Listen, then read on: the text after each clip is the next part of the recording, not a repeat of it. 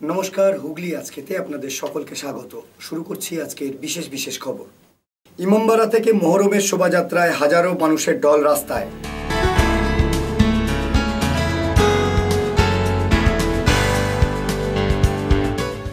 আগ্নেয়াস্ত্র নিয়ে নার্সিংহোমে চড়াও দুষ্কৃতীরা, চাঞ্চল্য শ্রীরামপুরে।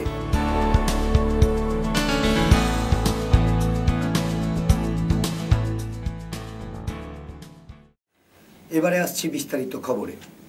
ইসলাম ক্যালেন্ডারের আজ মোহরম মাসের দশ তারিখ।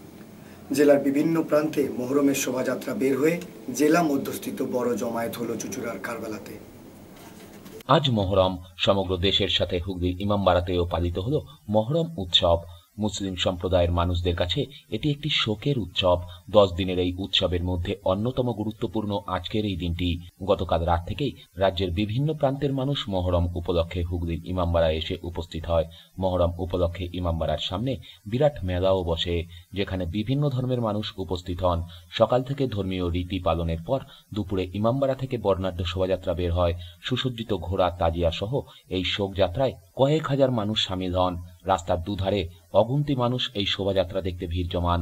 চকবাজার পাংখাটলি হয়ে যা সমাপ্ত হয় চুচুড়ার কারবালায়, যেখানে শুধু ইমামবাড়া নয়, জেলার বিভিন্ন প্রান্ত থেকে তাজিয়া সহকারে শোভাযাত্রা নিয়ে আসে মুসলিম ধর্মাবলম্বী মানুষরা।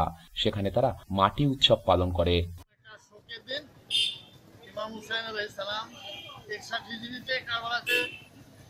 মানে অন্যায় বিরুদ্ধে দাঁড়িয়েছিলেন এবং সেই সময় সে মিলে কয়েক হাজার লোক তাকে তার উপরে হামলা করে শহীদ করে দিয়েছে। মানে সত্যের জন্য আজকে প্রায় চোদ্দশো বছর হয়ে গেল। সেই উপলক্ষে এই মহরম প্রতি বছরে পালন করা হয়। ওই ইসলামিক ক্যালেন্ডার অনুযায়ী মহরম হচ্ছে প্রথম মাস। ইসলামিক ক্যালেন্ডার অনুযায়ী মানে এক তারিখ থেকে মহরম আরম্ভ হয় আমাদের। এবং দশ দিন চলে, কিন্তু আমাদের শোক থাকে দু মাস, আট দিন। আমরা মানে ওই ইমাম থেকে বেরোই, ওই মানে ইমাম হুসেনের স্মৃতি ইয়ে নিয়ে, তাজিয়া নিয়ে তাবুত নিয়ে, আলাম নিয়ে নিশান নিয়ে, যেটা ঝান্ডা আমরা বলি, যেটা এই যুগে ফ্ল্যাগ বলা হয়। এটা কিন্তু সান একষাট হিজড়িতে কারবালাতে ইরাকে এই যুদ্ধটা হয়েছিল, আজকে সমাপ্তি। কিন্তু শোকটা আমাদের চলবে দু মাস, আট দিন। দু মাস পর আমাদের ইমামে একদম জন্ম হবে তখন শোক আমাদের শেষ হবে। সুদীপ দাসের রিপোর্ট হুগলি আজকে।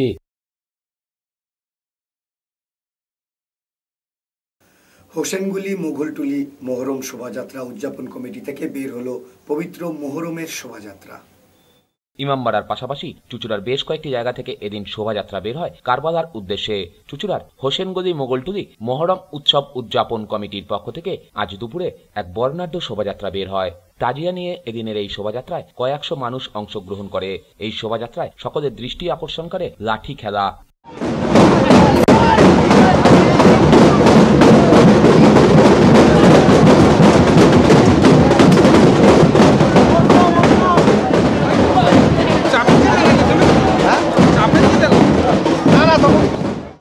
খাগড়াজল পেয়ারা বাগান হয়ে শোভাযাত্রা সমাপ্ত হয়। চুচুড়ার কারবালায়।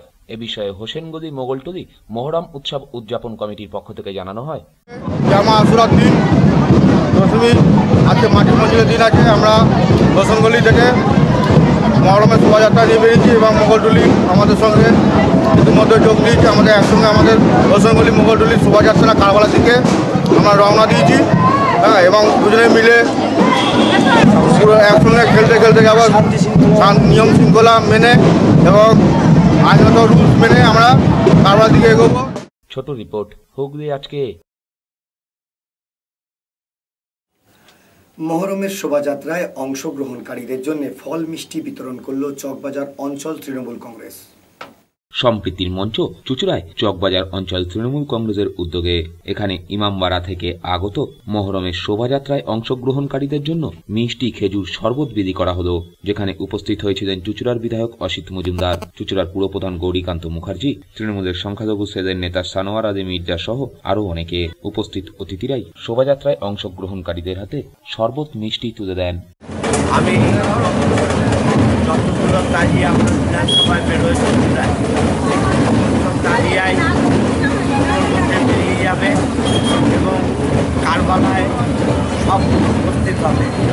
আমি সমস্ত মানুষকে এর জন্য শুভেচ্ছা জানাই জানাই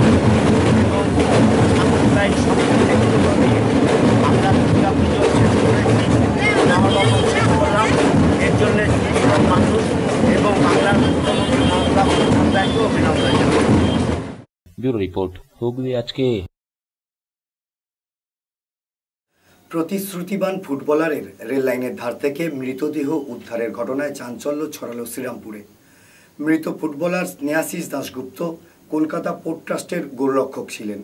নবমীর রাত থেকে বাড়ি ফেরেননি তিনি। মৃতদেহ উদ্ধার করেছেন রেল পুলিশ। শনিবার সকালে শ্রীরামপুরের রেল লাইনের ধার থেকে কলকাতা পোর্ট ট্রাস্টের এক ফুটবলারের দেহ উদ্ধারকে কেন্দ্র করে ক্রমশ রহস্য দানা বেঁধে উঠছে। মৃত ওই ফুটবলারের নাম স্নেহাশিস দাশগুপ্ত। বছর একুশে স্নেহাশিস শ্রীরামপুর তারাপুকুর কোয়ার্টার্সের বাসিন্দা বলে জানা গেছে। স্নেহাশিস কলকাতা পোর্ট ট্রাস্টের ফুটবল টিমের গোলকিপার।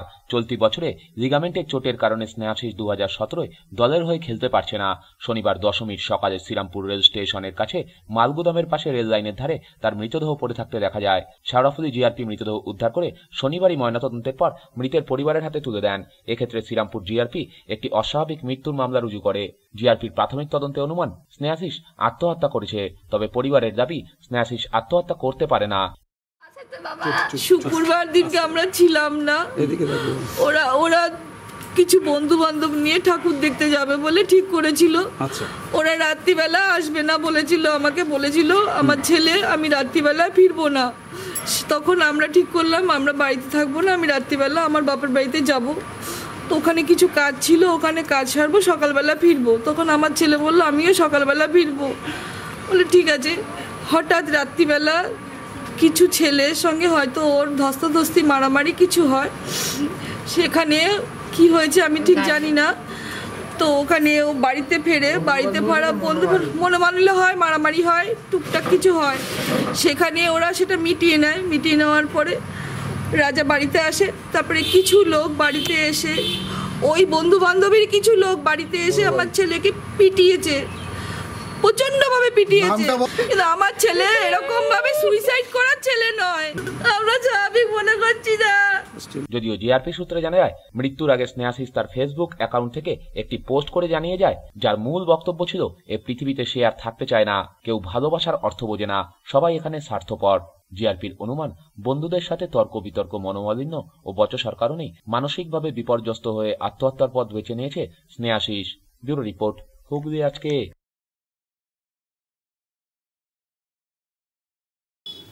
এখন নেব একটা ছোট্ট বিরতি বিরতির পর থাকছে আগ্নেয়াস্ত্র নিয়ে নার্সিংহোমে চড়াও দুষ্কৃতীরা, চাঞ্চল্য শ্রীরামপুরে।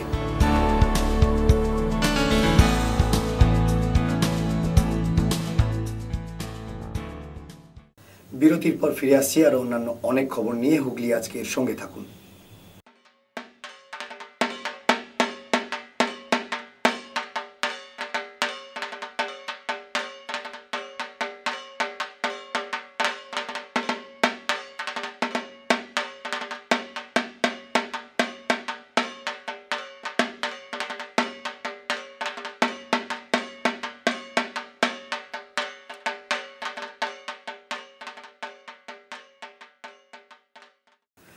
বিরতির পর ফিরে এলাম খবরে। অবিলম্বে আহতকে চিকিৎসা করতে হবে। এই দাবিতে আগ্নেয়াস্ত্র নিয়ে নার্সিংহোমে চড়াও দুষ্কৃতীরা। বন্ধু গুছিয়ে ভয় দেখানো মারধর কিছুই বাদ রইল না। চাঞ্চল্য শ্রীরামপুরে। নার্সিংহোমে ঢুকে আগ্নেয়াস্ত্র উঁচিয়ে চিকিৎসক ও কর্মীদের ভয় দেখানোর অভিযোগ উঠল দুষ্কৃতীদের বিরুদ্ধে। শনিবার ভোরে ঘটনাটি ঘটেছে শ্রীরামপুর থানার একটি নার্সিংহোমে। সাত সকালে নার্সিংহোমে ঢুকে দুষ্কৃতীদের তাণ্ডবের ঘটনায় ভর্তি থাকা রোগী ও তাদের আত্মীয় স্বজনেরা আতঙ্কিত হয়ে পড়েন। ঘটনার প্রতিবাদ করে নার্সিংহোমের আধিকারিক চিকিৎসক শঙ্কর প্রসাদ দে শ্রীরামপুর থানায় লিখিত অভিযোগ দায়ের করেন। একই সঙ্গে নার্সিংহোম কর্তৃপক্ষ পুলিশের কাছে সিসিটিভি ফুটেজ তুলে দেন। পুলিশ ও স্থানীয় সূত্রে জানা গিয়েছে, ঘটনার দিন সকাল পৌনে সাতটা নাগাদ স্থানীয় দুই তরুণ একটি মোটর সাইকেল নিয়ে শ্রীরামপুর থেকে রিসরার দিকে যাচ্ছিল। মোটর সাইকেল নিয়ন্ত্রণ হারিয়ে রাস্তার উপরে উল্টে গিয়ে তারা আহত হয়। আহতদের উদ্ধার করে একদল দুষ্কৃতী শ্রীরামপুর মানিকতলার একটি নার্সিংহোমে নিয়ে আসে। নার্সিংহোমে ঢুকেই দুষ্কৃতীরা আহতদের চিকিৎসার জন্য হুজ্জুতি করতে থাকে। তখন নার্সিংহোমের কর্মী বিশ্বনাথ চক্রবর্তী ও সোমনাথ ভর দুষ্কৃতীদের বাধা দিলে দুষ্কৃতীরা বন্দুক উঁচিয়ে তাদের হুমকি দেয়। মারধর করা হয় তাদেরকে। এরপর তারা আইসিইউতে ঢুকে পড়ে। সেখানে কর্মরত চিকিৎসকরা দুষ্কৃতীদের ওই চেহারা দেখে ভয় পেয়ে যায়। এরপর আহতদের প্রাথমিক চিকিৎসা করে নিয়ে দুষ্কৃতীরা চম্পট দেয়। পেশেন্ট নিয়ে এসেছিল বাইক অ্যাক্সিডেন্ট পেশেন্ট হ্যাঁ আমরা তাকে সঙ্গে সঙ্গে চিকিৎসা শুরু করি। কিন্তু সেই চিকিৎসা তার রাজি হয় না। সে বলে, আমরা অন্য কোথাও ঠিক আছে, আমরা বলি ঠিক আছে, তোমরা নিয়ে যেতে, নিয়ে চলে যাও। নিয়ে চলেও গেলো বাইরে। হঠাৎ করে আমাদের উপর চড়াও হয়। চড়ায় মারধর শুরু করে দেয় এবং আইসিউটা অস্ত্র উঁচিয়ে সিস্টারদের ভয় দেখায়। সিস্টাররা আতঙ্কিত হয়ে বাথরুমের ভেতর লুকিয়ে পড়ে। এবং আমরা প্রাণ বাঁচাতে যে যার আমরা যেখানে পারি যেখানে লুকিয়ে পড়ি। কেন, ওরা কেউই সুস্থ অবস্থায় ছিলেন না। হ্যাঁ এই অবস্থায় নিজেদের প্রাণ বাঁচানো দায় হয়ে গেল তখন স্টাফেদের মারধর করেছি। তো ওদের যেটা বক্তব্য, ওরা বলছে যে এক্ষুনি সব কিছু আমাদের ঠিক করে দেবে আমরা তখন এটা ম্যাজিক নয়। ম্যাজিকের মধ্যে সব কিছু হবে। একে রাখতে হবে। রাখার পর ডাক্তারবাবু দেখবে, দেখে যদি বলে সিটি ফিটি করার দরকার তখন করে তারপর সেটা ঠিক হবে। কিন্তু ওরা সেই মুহূর্তে কোনো রাজি হচ্ছে না। আর উল্টোপাল্টা গালিগালাজ করতে আরম্ভ করে। গালিগালাজ করার পর তারপর মারতে শুরু করে। এখন আমরা খুবই আতঙ্কিত এবং রাত্রিবেলা ডিউটি করা খুব আমাদের পক্ষে অসুবিধা হয়ে যায়। অ্যাক্সিডেন্ট একটা রুগী নিয়ে আসে। নিয়ে আসার পর তখন তার ড্রেসিং ড্রেসিং ইত্যাদি চলছিল তার মধ্যেই তারা অন্য স্টাফদের মারধর শুরু করে এবং তারপর আগ্নেয়াস্ত্র বার করে। সেই প্রথমে প্রথমে রিসেপশনে ধাক্কা মেরে উল্টে দিতে চাইছে প্রথমে রিসেপশনের স্টাফ তাকে মারধর করছে বা উপরে অশ্লীল ভাষায় গালাগালি করেছে অন্যান্য কিছু মহিলা মানে অন্যান্য পেশেন্টরা তাদেরকেও তারা করছে ইত্যাদি। চিকিৎসা সংক্রান্ত তারা তো মানে চিকিৎসা সংক্রান্ত করে কিছু কথাবার্তা বলছিল না। তারা এমনি মার মানে একে মারছে মারছে- ধরছে ইত্যাদি করছে মানে কারণ ঠিক কি? আমরা সঙ্গে সঙ্গে তার যেটুকু প্রাথমিক চিকিৎসা ড্রেসিং ড্রেসিং যেগুলো করার তারা তো ওই ড্রেসিং করতেই এসেছিল যে একটা কেটে ছড়ে গেছে সেই ড্রেসিং সেটুকু আমরা মানে করে দিচ্ছিলাম। তার মধ্যেই এসব ঘটনা ঘটছিল। আমরা এখন- এখন আতঙ্কিত, যদিও পুলিশ আমাদের নিরাপত্তা রাষ্ট্র সমস্ত কিছু যদিও গোটা ঘটনার বেশিরভাগটি নার্সিংহোমে থাকা সিসিটিভি ক্যামেরায় বন্দী হয়েছে। সেই ফুটেজ তুলে দেওয়া হয়েছে শ্রীরামপুর থানায়।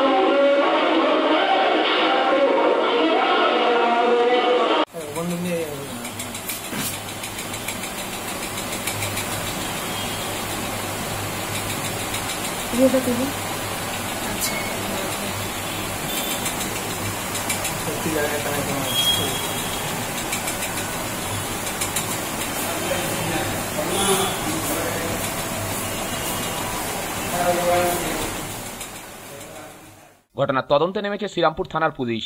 ব্যুরো রিপোর্ট হুগলি আজকে। দুর্গাপুজোর ভাসানকে কেন্দ্র করে কলকাতা পুলিশের এক কনস্টেবলের বিরুদ্ধে মারধরের অভিযোগ উঠল। পুজোর ভাসানকে কেন্দ্র করে কলকাতা পুলিশের এক কনস্টেবলের সঙ্গে বচসা শ্রীরামপুর তালপুকুর ব্যায়ামাগার ক্লাব সদস্যদের। ওই ক্লাবের পক্ষ থেকে এ বিষয়ে শ্রীরামপুর থানায় লিখিত অভিযোগ দায়ের করা হয়েছে বলে খবর। অভিযোগ, শ্রীরামপুর থানায় অভিযোগের খবর জানতে পারলে ওই পুলিশ কর্মী তার দলবল নিয়ে চড়াও হয় ক্লাবে। চলে যথেচ্ছ ভাঙচুর। ঘটনায় দুই ক্লাব সদস্য গুরুতর জখম হয়ে বর্তমানে চিকিৎসাধীন। শ্রীরামপুর থানার পুলিশ ঘটনার তদন্তে নামলেও শেষ খবর পাওয়া পর্যন্ত ওই পুলিশ কনস্টেবলকে গ্রেপ্তার করতে পারেনি পুলিশ। ব্যুরো রিপোর্ট, হুগলি আজকে। বাঁশবেড়িয়া পৌরসভার বিভিন্ন গঙ্গার ঘাটে সকাল থেকে রাত পর্যন্ত বিসর্জন সুসম্পন্ন হলো। শনিবার বিজয়া দশমী উপলক্ষে সকাল থেকেই রাত পর্যন্ত হুগলি জেলার বিভিন্ন গঙ্গার ঘাটগুলিতে প্রতিমা বিসর্জন অনুষ্ঠিত হয়। বাঁশবেড়িয়া পুরসভা এলাকার বিভিন্ন গঙ্গার ঘাটের ছবি ধরা পড়েছিল হুগলি আজকের ক্যামেরায়। এদিন পুরসভার প্রায় সব ঘাটগুলিতেই ছিল পুলিশের কড়া নজরদারি। কোন রকম দুর্ঘটনা এড়াতে পুলিশ প্রশাসন এবং বাঁশবেড়িয়া পুরসভার পক্ষ থেকে সব ধরনেরই ব্যবস্থা রাখা হয়েছিল। গঙ্গায় বিসর্জনের আগে মায়ের অঙ্গসজ্জা ও ফুল ফলাদি পুরসভার নির্দিষ্ট ভ্যাটে ফেলার ব্যবস্থা ছিল। মাকে বিসর্জনের কিছুক্ষণের মধ্যেই এদিন কাঠামো তুলে ফেলে বাঁশবেড়িয়া পুরসভার কর্মীরা। বাঁশবেড়িয়া পুরসভার পুর সদস্য দিলীপ দে এ বিষয়ে জানান। বাজবেরিয়া পৌরসভার পক্ষ থেকে আমাদের সরকারি চারটে আমাদের চারখানা ঘাটে বিসর্জন হচ্ছে। আমাদের ত্রিবেণী শিবপুরের নবতলা কালীবাড়ি ঘাট রায়বেড়ি রায়বে রায়গুলি ঘাট বাদবেরিয়া হচ্ছে শান্তিপূর্ণভাবে এবং মহরম হচ্ছে। আমাদের বাদবেরিয়া পৌরসভা থেকে আমাদের বাদবেরিয়া পৌরসভার মাননীয় পৌরপ্রধান রঞ্জিতা সিং এবং উপপ্রধান উপপ্রধান যারা আছে যারা আছে, গাড়িটা সরিয়ে নেবেন। নেতৃত্বে সারা বাসবেরিয়া চারখানা ঘাটে হচ্ছে এবং মহরমও হচ্ছে। সরকারি নির্দেশ অনুযায়ী যেভাবে আমাদের সরকার আমাদের করতে বলেছে, আমরা সেইভাবে সমস্ত রকম ব্যবস্থা বাসবেরিয়া পৌরসভা থেকে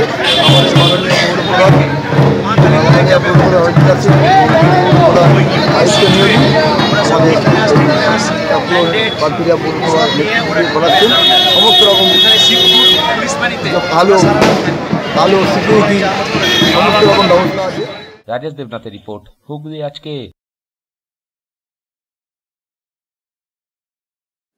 পান্ডুয়ার বেরেলা কোচমালি এলাকায় তৃণমূল কংগ্রেসের উদ্যোগে স্থানীয়দের অন্ন এবং বস্ত্র দান করা হয়। পান্ডুয়ার বেরেদা কোচমালি গ্রাম পঞ্চায়েতের অন্তর্গত বেরেদা গ্রামে বিজয়া দশমী উপলক্ষে স্থানীয় তৃণমূল নেতা অমর ঘোষের নেতৃত্বে এক অন্ন ও বস্ত্রদান অনুষ্ঠান আয়োজিত হল। বিগত কয়েক বছর ধরে এই অনুষ্ঠান অনুষ্ঠিত হচ্ছে এখানে। এদিন মোট তিন হাজার মানুষের খাওয়া দাওয়ার আয়োজন করা হয় এখানে।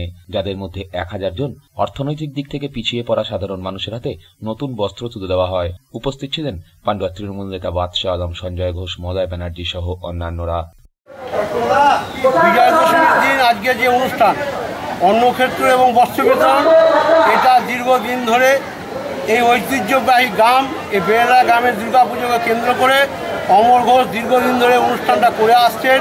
সে বছরে, প্রতি বছরে না এবছরেও উনি এই দশমীর দিন যতটুকু সাধ্য মানুষের সহযোগিতায়, গ্রামের লোকের সহযোগিতায় এবং তৃণমূল কর্মীদের সহযোগিতা মিলিয়ে উনি আজকে যেটুকু পেরেছেন, মানুষের কাছে বস্ত্র দিচ্ছেন এবং তিন হাজার লোকের খাওয়া দাওয়ার ব্যবস্থা এবং আটশো থেকে হাজার লোকের আমরা বস্ত্র বিতরণের যে অনুষ্ঠান করে তাদের কাছে আজকে তাদের দুঃখে, সুখে একদিনের জন্যই যাতে আমরা আনন্দের হাত বাড়াতে পারি, সর্বধর্ম সমন্বয় রেখে কাজ, এটা করার জন্য আজকে এই অনুষ্ঠান। এই অনুষ্ঠান সবাই সহযোগিতা করুক, আগামী দিন যেন আরও ভালো হয়, এই কামনাই আমরা করি। তৃণমূল কংগ্রেসে যারা সচেষ্ট কর্মী, তার থেকে আমাদের ব্লকেরও কর্মীরা আছে, তাদের প্রত্যেকের আন্তরিক প্রচেষ্টায় এই অনুষ্ঠানটা সফল সুমন চক্রবর্তী রিপোর্ট, হুগলি আজকে। এবারে আসছি আবহাওয়ার খবরে। আজ হুগলি জেলার সর্বোচ্চ তাপমাত্রা ছিল চৌত্রিশ ডিগ্রি সেলসিয়াস এবং সর্বনিম্ন তাপমাত্রা ছিল একুশ ডিগ্রি সেলসিয়াস। বাতাসে আপেক্ষিক আর্দ্রতার সর্বোচ্চ পরিমাণ ছিল একাশি শতাংশ বৃষ্টিপাত হয়েছে মাঝারি ধরনের। শেষ করার আগে দেখে নেব আজকের খবরের বিশেষ বিশেষ অংশ আরও একবার। ইমামবাড়া থেকে মোহরমের শোভাযাত্রায় হাজারো মানুষের দল রাস্তায়।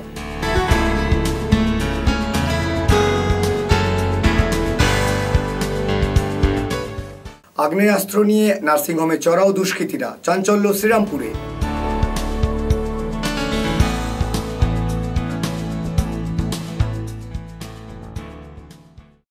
এখনকার মতো খবর এই পর্যন্তই। প্রত্যেক দিন রাত আটটায় এন এ এম বিসিতে দেখুন হুগলি আজকে। নমস্কার।